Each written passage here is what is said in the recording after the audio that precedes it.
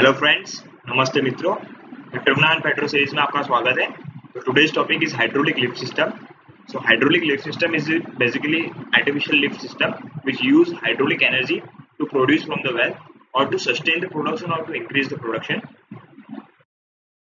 so in hydraulic lift system basically two type of soft surface system is use first one is jet lift system and second one is pistol lift system so let's understand about the hydraulic lift systems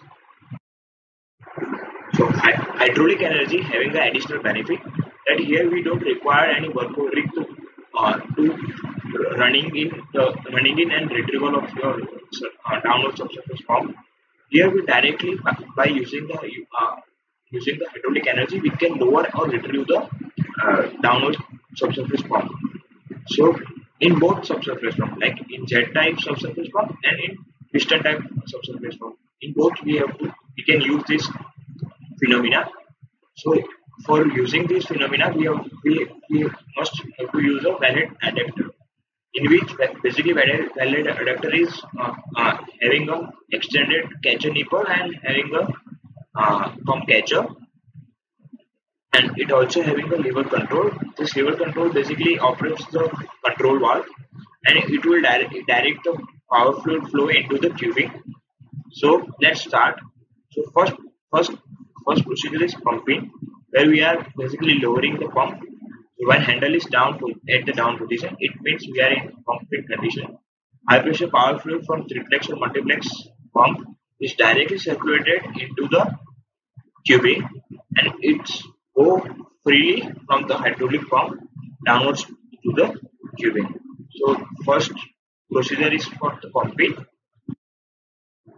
the second condition is pump operate. In, in this condition, basically our pump is in operating condition. So once the power flow begin to operate the pump, after basically settling of your downward pump on the standing valve, the produced fluid and exhausted power fluid will uh, return to the casing through a valve and it will flow into the flow line to the surface. Now third condition is pump up. If you want to retrieve the pump, then basically our reverse uh, reverse circulation will get the pump on the surface. So here we are basically uh, pumping the fluid from the casing and uh, we are circulating out from the tubing. Let's understand the three conditions by using the diagram. Here, starting from pumping condition. Here in pumping condition, basically we are uh, lowering the pump by use of hydraulic energy. So basically our injection line is connected with the tubing. So this is basically your injection line is connected with the tubing. So power will directly flow into the tubing in downward direction and here the power flow can circulate from your subsurface pump. So here basically there is an NRV. NRV means your flow can occur in only single direction. So only downwards uh, your downward force flow can occur. So uh, basically uh, it, it uh, here your power flow will force the downward pump in downward direction. And at that at that in the pumping condition your standing valve is remain in closed position. So uh, when your uh, pump your subsurface pump is landed on your standing valve at that condition it is connected by the basically magnet. Uh, it is uh, in held up position. So our second condition in operation. In operation condition same we are injecting our power fluid into the tubing and our power fluid will flow in downward direction and it, uh, it will circulate through your pump and basically at that time it operates the pump. Here your hydraulic energy is used to lift the your uh, your well fluid. Here well fluid is coming from your perforation and in this condition your standing valve is in open condition. Okay?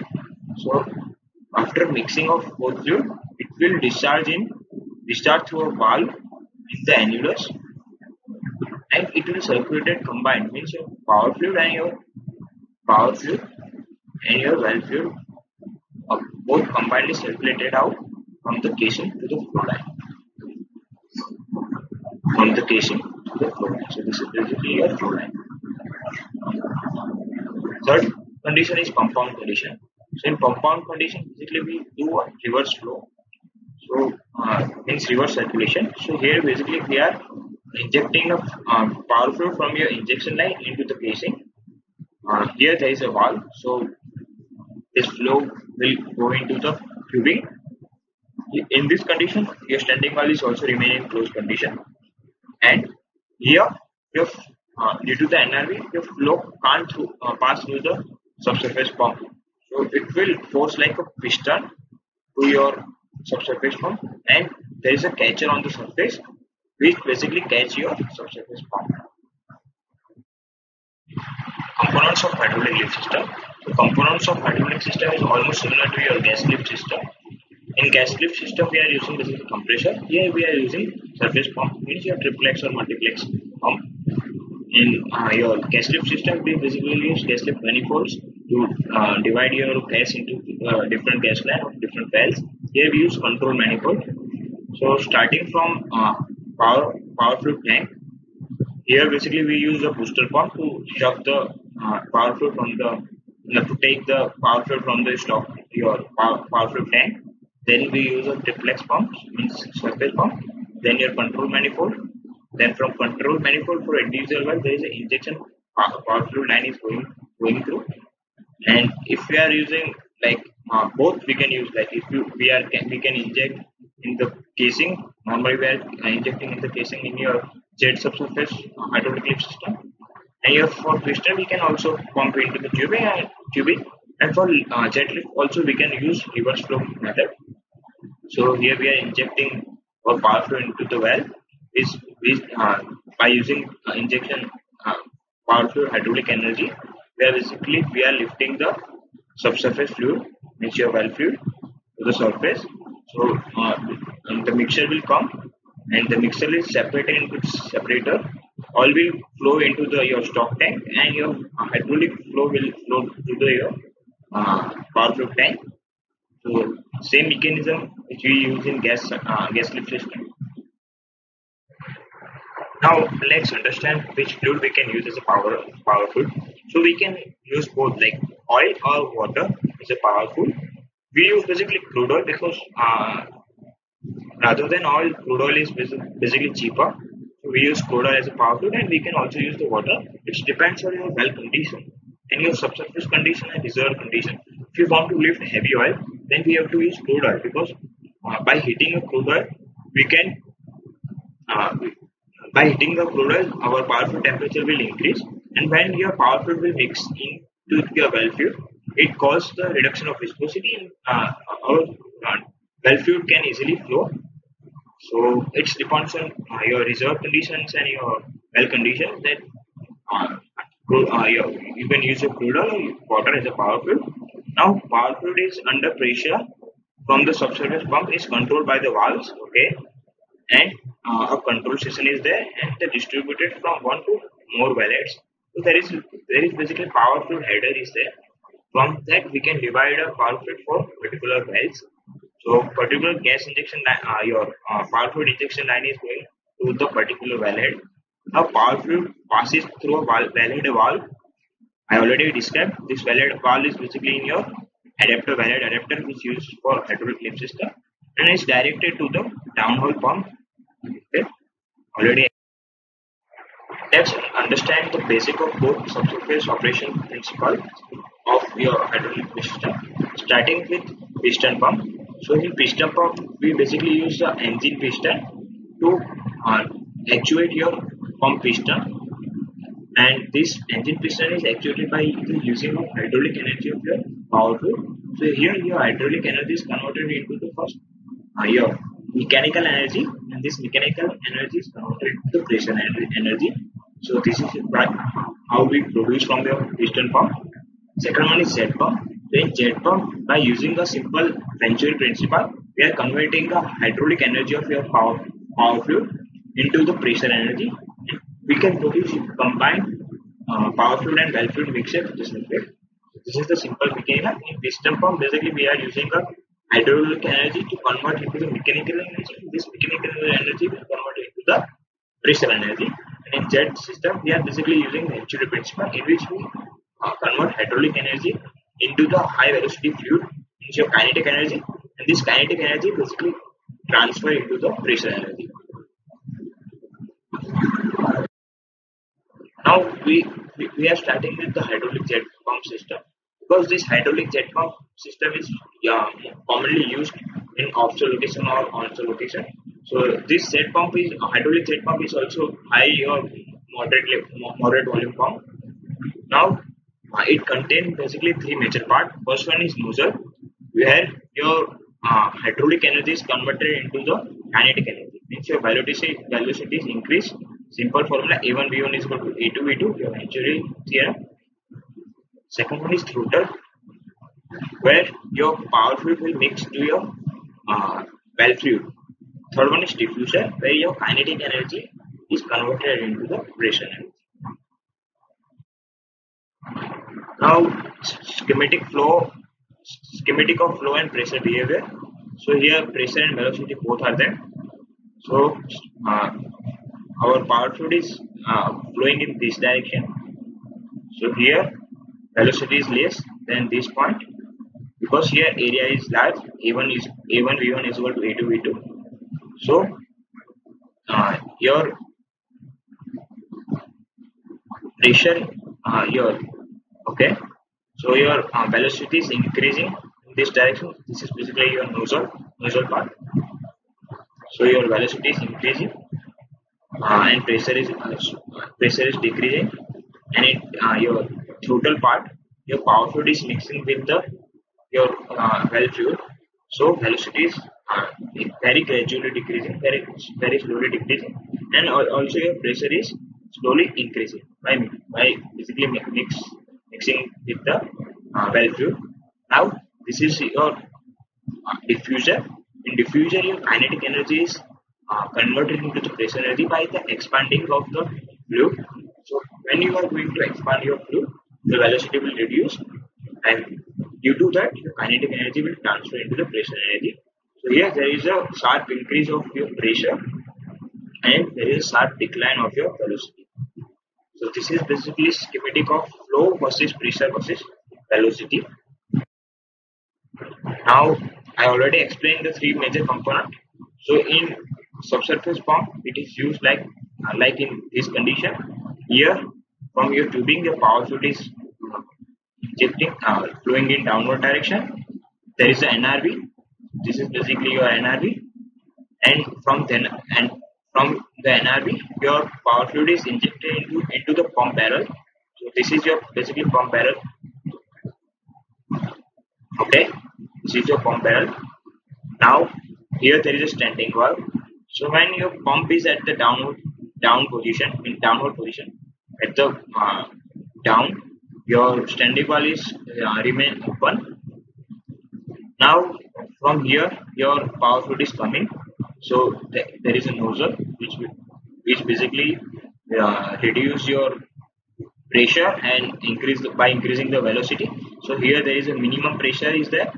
So that's why your valve fluid is lifted by this these two tube to the throttle part. In the throttle part, your uh, valve fluid is mixing with the hydraulic fluid, and here by by the expanding or by the re reduce reduction of your velocity, the kinetic energy is uh, again converted into the hydraulic energy, and this discharge discharge is com combinedly uh, uh, discharged in the casing.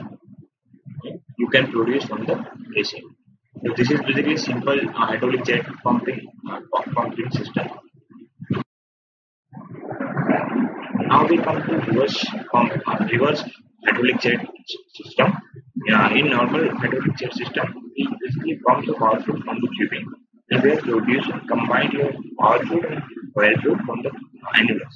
But if your casing is sensitive to corrosion or your oil well fluid contain more acidic gas, we can't produce from the casing or if you if you want to use your hydraulic system in heavy oil then we have to we have to give a temperature to the uh, your uh, your well fluid so in that condition by injecting the hydraulic hot hydraulic from the annulus we can heat it we can continuously heat the uh, well because here well fluid is going upward direction through the tubing so it's basically work as a heat exchanger.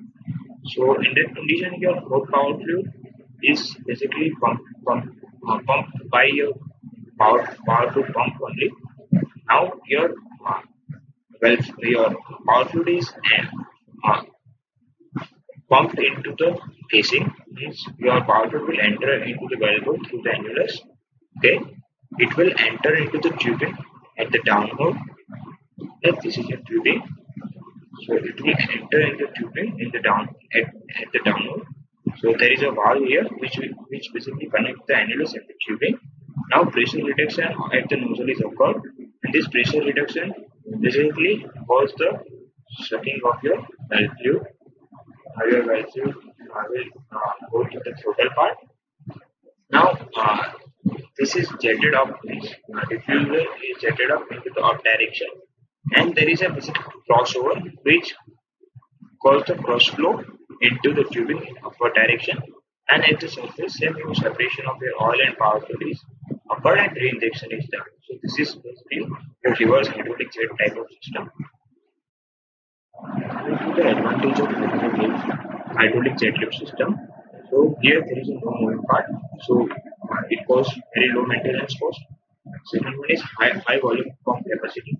So yeah, this hydraulic jet system is I already explained high volume pump, and uh, it basically uh, also favors the uh, hydraulic jet system in the offshore because is generally containing high volume high volume wells. Now this is the free pump it's also very suitable condition. So where we don't require any to lower or to or to retrieve the subsurface pump. So uh, it also uh, uh, give additional benefit for the offshore because in offshore I already explained that work hiring cost work rig hiring cost is very high. Uh, it can also use in uh, deviated wells. Now is uh, multi-well production from the single surface vacancy. So it's almost same to the gas production, uh, your gas lift system. In gas lift system, we require only uh, like com- compression and we can uh, flow from multi-wells. So here also we require only one surface, only one surface uh, package. It basically contains the flex pump or multiplex pump, which pumps the uh, hydraulic pump, hydraulic power to and the last one is low conquest. So as you know, the maintenance cost is very less. Hydraulic uh, limitation of hydraulic lift system. So first one is production ability is related to bottom pressure. Yeah, of course, because uh, your jet lift is not your positive displacement pump, so uh, your uh, flow rate is basically directional proportional to your bottom pressure, uh, inversely proportional to your bottom pressure. Now, uh, some some almost all jet jet jet pump assembly required a specific downhole assembly. So you have to plan from the starting only. If you are, you are going to install a hydraulic lift system, hydraulic jet lift system in the future. Third one is low horsepower efficiency, uh, and fourth one is hydraulic pressure of surface line. High pressure high, high pressure surface line is required. So here injection pressure is almost more than 140 to 150 kg. So for that we required a high pressure injection line. These are the limitations of hydraulic system. Now application and consideration of hydraulic system. For corrosion handling they are extremely good.